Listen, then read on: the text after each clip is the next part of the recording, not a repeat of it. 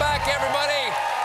Ladies and gentlemen, my next guest tonight is a comedian you've seen in Wet Hot American Summer and The Characters on Netflix. He currently stars in Search Party. May I cut in? No. No, no, no, no, no, no. Elliot, no. Not this time. Okay, just don't. I'm with Luke now, and I'm really happy. We're so happy. Well, I'm sorry, but that's just not the way it's gonna be. Mark.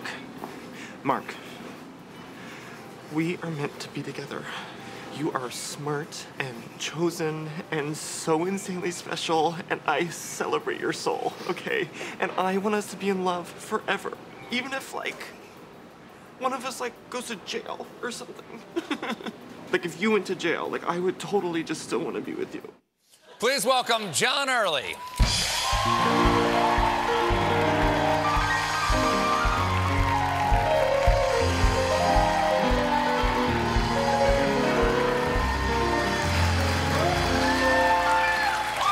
Hey. Hello. Thanks for being on. That shirt's fantastic. What do you mean?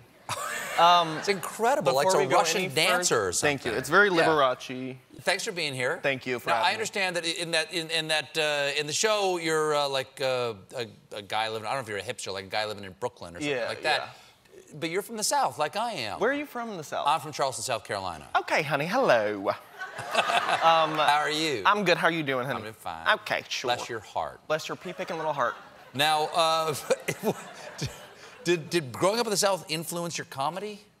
Yes, hugely. I mean, yeah. Like, both my parents are ministers, and I'm Wow. fine. I'm fine. Yeah, Were yeah. they and ministers we're good. in the we're good. same church? No, they. My my dad was a Presbyterian minister. My mom was Disciples of Christ, different congregations. Wow. Um, but truly, deeply liberal. Thank God. I'm fine. Um, But um, but yeah, but they were they were ministers, and I, I I just think kind of growing up amongst those rituals, like the punch, and you know, it, it's very influential. The punch. You- punch. the punch. I thought you were going to say, you know, saying service sermon. No, the no, no, that stuff was over my head. I was like looking at the punch the whole time. Yeah, but but I think just because they were like they were, you know, I'm like four years old watching my parents like, you know, in robes, you know, assuming this like divine authority, you know, in front of a congregation, and then I'm like watching them going like, I saw you like sprinting towards the phone naked this morning.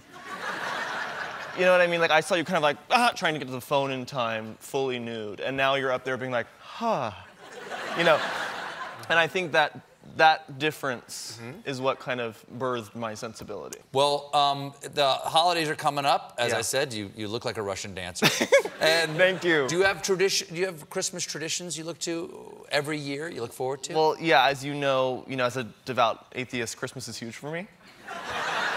sure. uh, especially Christmas music. John? Um,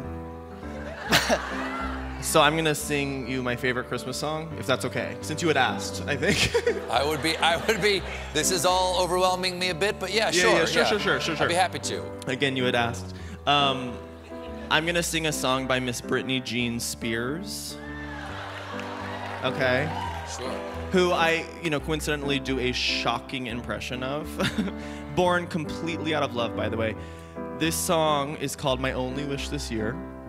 It was on Now That's What I Call Christmas 72.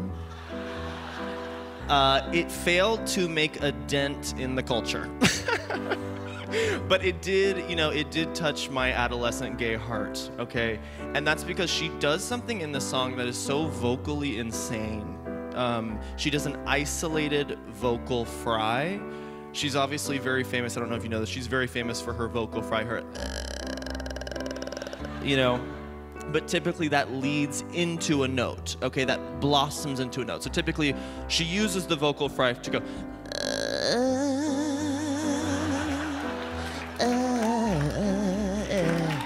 Thank you. Thank you. Thank you.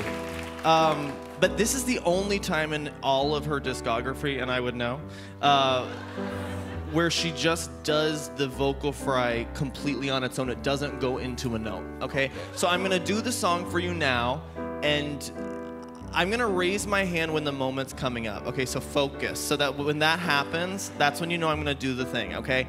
I am not doing this for comedic effect. I'm not I'm not exaggerating. This is not like my funny take on Britney. This is I'm I'm channeling her tonight for you. Happy holidays. Let's hit it, Jon.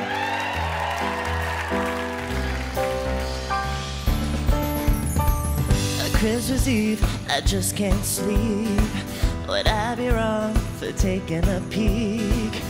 Cause I heard that you're coming in town. Santa, can you hear me? I really hope that you're on your way with something special for me in your sleigh. Oh, Santa, make my dreams come true. Santa, can you? I want my baby, baby. I want someone to love me, someone to hold, baby, baby. He'll be all my own under the mistletoe. Santa, can you hear me? I have been so double clap, then I sing. All I want is one thing. Tell me my true love